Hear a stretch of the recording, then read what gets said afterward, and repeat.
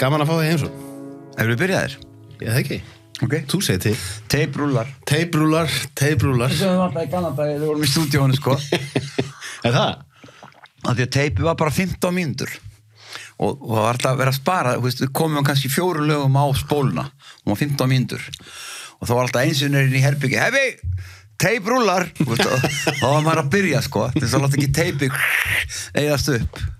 Byrjum þar Hérna Fyrir, ef, ef unga kynsluðin er að hlusta sko, þá man hún náttúrulega ekki eftir þessum tímum þar sem að Nei. þetta er alltaf orðið svo einfalt í dag maður. Já, já. Þetta er, þetta er mikið bylting maður. rosa byltingin en eins og bara þetta sem ég er að gera með að vera bara hérna eitthvað, með eitthvað stúdíóinn í einu herbyggjur svo bara þetta þetta í loftið Já. og músíkin hérna, hvernig var hún, þegar þú varst að byrja hvernig var hún tekin upp? Eh, það var allt tekið upp á svona multitraka svona breið teip og það voru 24 rásir og, og hérna síðan veist, voru trommur á fjórum, fimm rásum. Þá voru sko fimm farnar. Já, þannig að svo kom gítar og eina, kannski tvær og svo bara, já, þessu var raða niður á þessar 24 rásir. Og þú þurftir að fara vera svolítið út smógin í hvernig þú ætlar að nota rásirna sko. Var það verið að velja hversu margar rásir færi í hvaða hljóðfæri og Já, og hérna en síðan var þetta að svindla á þessu sko en svo var þetta að keira í mixunni þegar, síðan komu syndarnir þegar fóru að gera syndapoppið.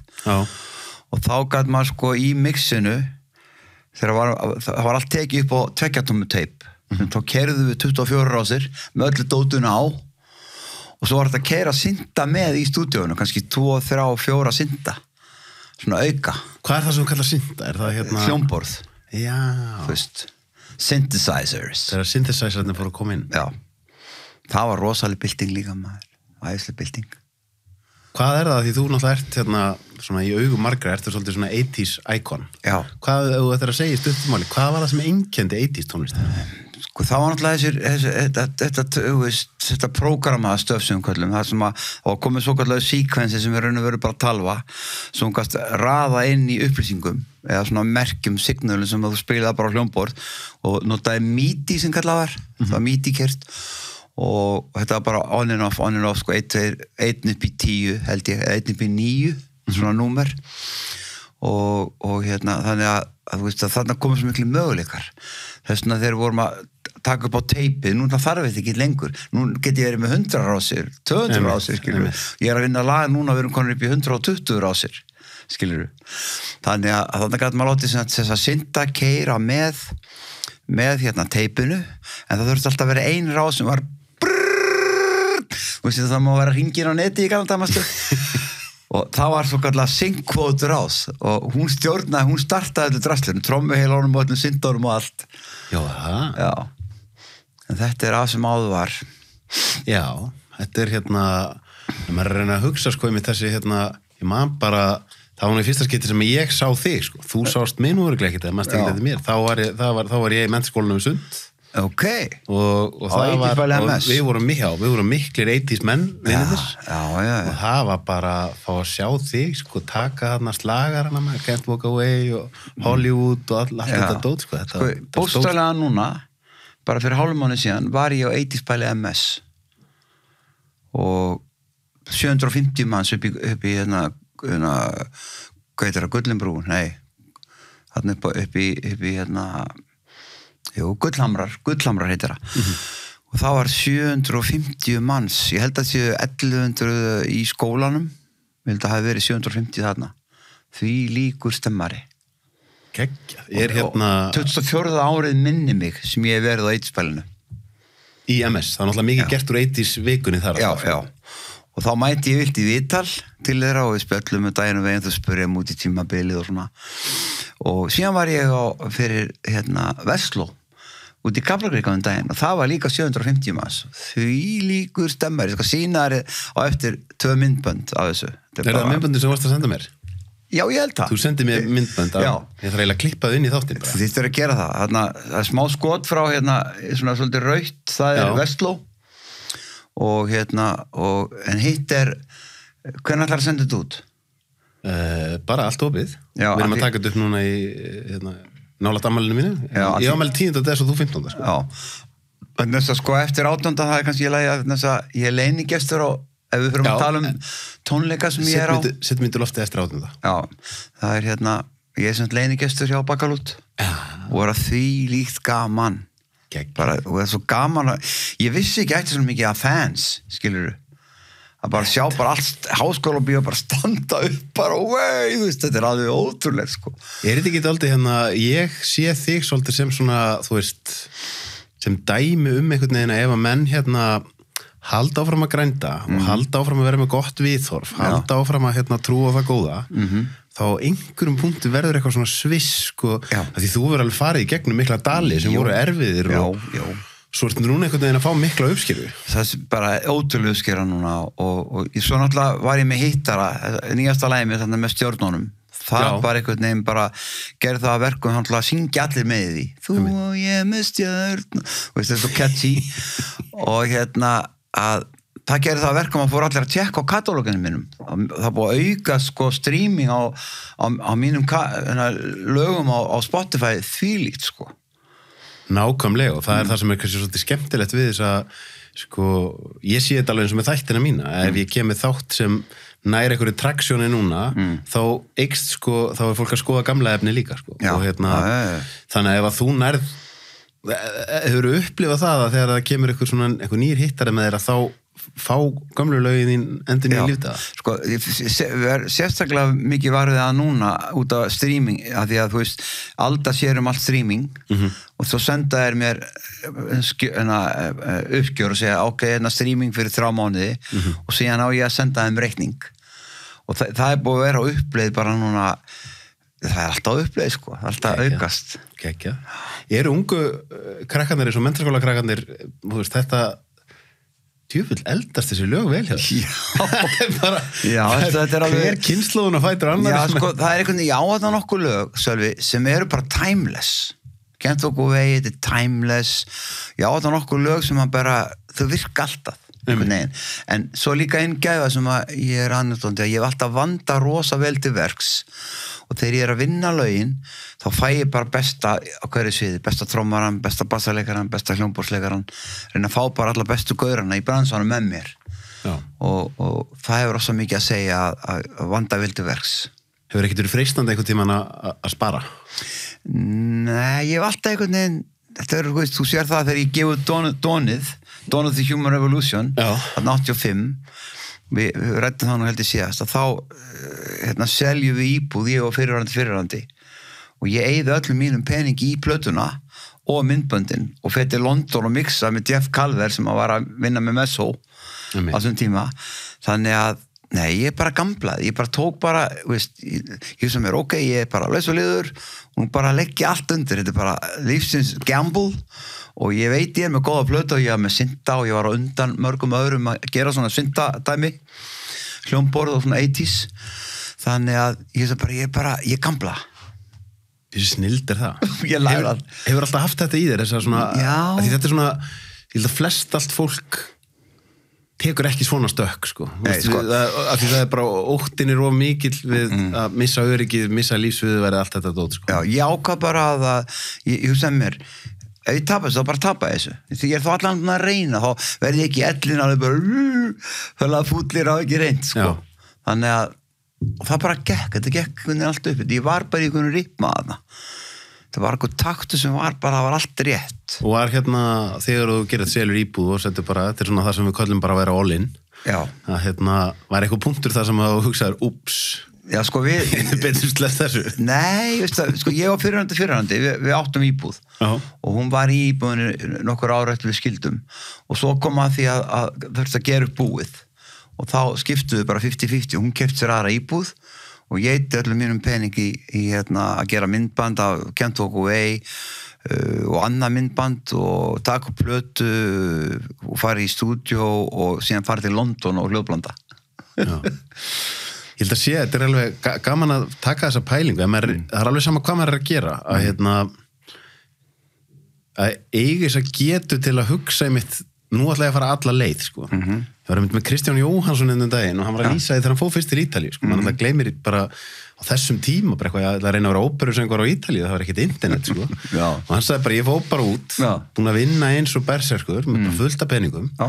það var ekkert plan B sko. Nei, það bara, þú veist, ég, ég hérna, veist, bara slefti því frekar að að geta heldur en að eiga ekki fyrir tímum hjá kennurunum og ég held að sé ofta þetta ekstra sem á endanum fólki er á endanum verðluna fyrir Já. að þóra þessu ekstra. En sko það er náttúrulega, já, með- það er fullvissa eins og hjá Kristjáni, hann, hann, er með, hann er með vissum það hann veit að hann getur okkar, hann er, hann er með röddskiluru og ég vissi að ég var, ég var búin að vera í hljómsveitum í mörg, mörg ár, ég var búin að vera að spila í bransan, ég var búin að vera pop-rockari, með böndum og spil út um allt og, og verið mörg, mörg ári bransan, ég var komið rosa reynslu og og ég var með svona sarp sem að, þú veist, þegar maður er að kópera hín og þessu tónlistamenn í gegnum tíðina eins og við gerðum hérna í old days þá var ég komið svona rosa sarp svo hræði ég bara í pottunum og fór að semja eigin lög mm og það er það sem maður þarf. Þetta gerðu bítlarnir og fleiri listamenn þeir hlustu á aðra artista og lærðu af þeim og síðan fyrir maður að geta sami sjálfur ég meina fyrir að því svo bara að poppaði bara við hausuna með núna. Já. svo mæni þegar ég var að byrja þegar ég var að æfin í vorklasin í felsmúla Mm. þá fórum við strákanir alltaf eftir æfingar að fá okkur ís í, bú, í ísbúðuna þína. Stikkur í. Þú fórst í það líka já, ég var með svona ég fer alltaf ólinn í allt. Ég ætlaði einmitt að segja það. Já, ég var með svona sigur og fýtuminn ís. Nákvæmlega. Já, og þessna var sko, eins og ég sagði við fólk, þau eru með ís með sigur fytuminni, þá er pláss fyrir sætu sósuna út á hann, eða nammið í hann, og allir segja, rosa þetta er góður ís, hvað hva gerður eiginlega? Minni sigur, ha? það var svona ferskur. Já, því hann er svo feskur, svo setur þú dísæta sósuna út á, eða nammið í hann, og þá er alveg bara, mmm, er við, þetta alltaf hebbís Já, já, þetta er svona viss formúla sem að, varst ekki líka með hérna er það ekki rétt munið að þú verið með líka með ísbúð í öðru, öðru löndum já? Já, síðu. hvernig gekk það? Bara ágætlega nema Kent okkur veisló í gegn hana 96 og ég bara mm, flóin heim og var í það að skemmta á fullu sko. Og þá eiginlega byrjaði aftur í bransanum en þess að ég var eiginlega, ég kluttu síþóðar og vorum þar ég og fyrirvrandi og með börnin og bara og heit og flott sumur þarna, æðislegt að vera í síþóð sérstaklega út af sumrunum. Og, og ég bara eiginlega var ég bara hættur í bransanum sko. Já, svo hérna slær kent okkur vegi aftur í gegn ykkur útastöð byrjar að spila það, hérna, FM 957 og, og ég fæ bara símdag bara, hvað, hérna, veistu, bara kent okkur vegi bara, var, þetta kringum, tring, var, var það í kringum, kringum 2000? nei, 96 96. 96 minni mig. Held að sé örgulega rétt á með 96 Já. þannig ég flög heim og byrjaði bara að skemmta á fullu bara út um allt í, mentaskólanum og hinga og þanga og síðan er bara hefur ekkert verið aftur snúið. Nei, ég búin að vera bara á fullu síðan til að halda áfram að tala um það, mér langaði aðeins bara að því að við vorum komin inn í ísinn Já. þú pælti það að reka ísbúð á Íslandi, maður segir þetta oft þegar maður segir við vinið sinni í útlöndum og fólk bara eru það að geta ís þú þessi svona ískall Mhm. hérna, hvernig er sá rekstur þú veist, maður átt séð þú veist, þegar það er þessi fallegu sumarkvöld eða hérna, gott veður að þá eru bara byðraður út á götu Mm. Já. en hvernig er þetta yfir vetratíman og... sko ef að sumari klikkar þá er það mjög daburt Já. og fyrsta sumar sem við vorum þá var hitabilgja Já. það kom bara hitabilgja það var bara rosalega gott veður. Og, og það var bara rauð út úr týrum og við bara, veist, og bara wow, það er mikið peningur í gassana sko. En síðan náttúrulega kom veturinn og þá náttúrulega dattaði niður og, og, hérna, en þetta er rosa bindandi. Er, ég sagði alltaf sko, þetta er verðin að vera með beljur því að þú laus eftir mjaltir. En það er bara bundin bara alla daga vikunar. Og hérna og síðan ef að, þú ert með stelpur í vinnu svo kom rosalega fínt veður maður þá bara hörfa þær Já, ok. og þá eruð við að standa vaktina ég og konan sko Varst ekki alltaf mikið þannig sjálfur að að jú, vinna? jú, ég þurfti alltaf að laga tveggja þryggja daga fresti þurfti ég að sjóðu blöndu og laga skafís og Já, þú gerði það sjálfur? Já, ég fór til Ítali og lærið ískerm Ég flutti inn bræðefni þú veist, svona, í svona stórum 5 kíló dollum, veist, fljótandi jarðabir og bláber í svona, svona síróps, hérna, vökva þetta var allt notað í skafísin Já. og ég var með 10 tegundar skafís svo er ég með vanulís jarðaberís og súkulæðís Og ítalskur ísinn og þekktur um allan heim. Já. Hvar lærður þau? Ég, eh, ég fór fyrst upp í Perlu Gísli heitinn Tórótsen, hann hjálpaði mér hann leiði mér að koma þar og ég skellti bara á mig sundun og var þannig í kjallar í Perlunni að laga ís og hann gaf mér líka uppskrift sem ég lagaði síðan til.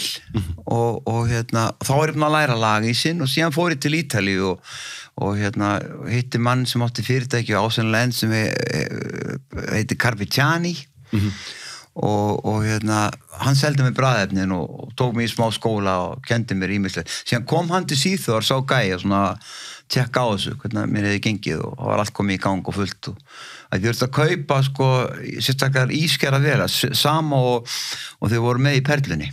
Já. Hver, hérna, er þetta mikið list að læra að vera ískerðanur? Já, já, þetta er smá list. Þú verður að hafa sensurissu fyrir bragði og, og svona vita hvað þetta gera. Hvað finnst þér um sko, að þessi klassíski debatt að hérna, sumi segja Brynjuísin sé bestur og aðri segja mm. uh, gamle Vesturbæðarísin hvað, hvað, hver er þín tegunda ís? Ég fýla nýja Vesturbæðarísin já, já, ekki gamla. Já, líka sko, þegar ég kaupi lítir þá, þá er hann hálfur að gamla neðst og nýji efst. 50-50 Já, ok. En, hérna, en, en nú er ég að halda mig frá ístum þess að ég er of hári sigri þannig að ég þarf að, að vera keto sko. Ertu mikið er það borða keto sem ég? Já, svona já, ég er eiginlega núna, eftir síðasta detox þá tók ég ákvörðunum bara að vera ég verða að gera það, skilur til þess að bara halda sigurunum í, í, í balans sko.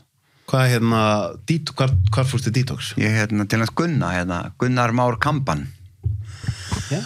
Sem að hérna gáð bókina hérna, ketobókina Og er það þá eitthvað sem að gerir bara sjálfur eða, eða Nei, fórstu? nei hann, er búinn að, hann er búin að vera með svona kúsa. Ég var fyrst hérna, á, á Hilton hjá honum fyrir tveim árum og svo fór ég núna á, á, á Natura gamla loftehotelið og við vorum hérna hvað? Á 12-14 manns og enn fleiri hérna á Hilton. Það var rosa gaman sko. Svo er svona músík hérna, tónlista hérna svona gufa. Þá spilar hann tónlist og hérna vali alltaf svona þema stundum var bítla þema og stóns þema og, og allavega þema. Og síðan farið í göngutúr á mótnana og svo eru fyrirlestrar um mataræði og allt tekið fyrir. Og síðan er hérna borða gras bara eins og ég segi. Það er bara, það er svona safi byr, byrja daginn á rauðróðsáfa heitum rauðróðsáfa og svo er hérna bara salat allar máltir og svo er svona súpa líka. Þetta er allt svona, þú ert aldrei aldrei yfir 500 kaloríur á dag Hvað er það margir dagar? Þetta voru núna 8 dagar en ég tók 14 daga í hitti fyrir á, á, á Hilton 14 dagar, Mhm. það er saman þegar ég var að, ég man, þegar ég var að gera æfisöðunum með Jóninu Ben, þá var hún að vinna með 14 dagana Já, það var rosalega breytingar sem maður sá á fólki sem Já. var að koma út úr þessum Já, þetta er bara rosalega gott þetta er rosalega gott fyrir allar frumur líkamanns að, að fara bara í kvild þá byrjar það að endunja sig húðin endunja sig, þú bara yngist allir upp Já. Þú, ætla að þú notar orðið yngist upp. Ég var að skoða í dag sko, uh, hérna, þegar ég var að undirbúa þetta að skoða Wikipedia, er þetta ekki, er þetta ekki fættu 53? Jú, Tjöfill þetta unglegum takk? Takk. Þú er að vera 70 ára næsta ári? E, Já, ég er 69 Það er rosalegt, er, er þetta eina ástæðan fyrir þú unglegur eða líka bara hafa gaman að því sem maður er að gera? Ég held það líka, þetta er bara hugafar og ég segi náttúrulega í gríni ég spurðu sko, ég segi alltaf sko ég sé hérna 68 Nei, hérna 48 Ég Já, alltaf já. ég er 48 hérna þess að fyrir 20 árum síðan þá vaknaði ég daginn og þá var ég 48 og svo bara næsta dag og vaknaði ég og var 8.48 og ég er búin að vera á svona Groundhog Day. Og hérna, en þetta er ofsa mikið atriði bara hvernig þú tala til sjálfsins ég er vanið með að tala jákvæð tala fallega um sjálfa mig aldrei tala niður til sjálfsmins aldrei bróta sjálf mig niður að ég sé ómölu þetta og hitt heldur. Ég tala alltaf upp í minn og, og hérna og, og, og ég er með svona saying sko að menn segja, hvað segir kallinn? Já, ég veit ekki með kallinn, hann fór nú eitthvað þarna en ég segi allt gott. En það er hérna uh, þú ert sko, þú segir tala, tala vel til sjálfstíns, en þú ert líka samt einn af þessum náungu sem að þú talar heldur ekki til um annað fólk Nei, ég, er- svona að reyna að vera freka bjartur Já. Er það ekki dálítið líkitt líka? Jú, líka sérstaklega eftir ég varð reglumæður Já. þá svona, nú eru 15 bara, já, ég er að byrja með 16 ár að þá, einhvern veginn þá hætti maður að, að vera þú veist, tröynið við aðra og tala íllum aðra og það var svona hluti af prógraminu sem ég fór í Já, þurfa að hreinsa til þar já, líka þegar ég gerir spórin og svona þá sá ég að, að ég var búin að vera svolítið skítæll sko Já. og það var afsvalega gott, mjög gott Varstu hérna þegar að þú þurftir að taka til í, í þeim efnum, var það, það aðal áfengi eða voru það önnur? Þessi þáttur er áskrifta þáttur. Inni á sölvi tryggva.is fá áskrifundur aðgengi að öllum útgefnum þáttum, aukaefni og nýjum þætti í hverri viku.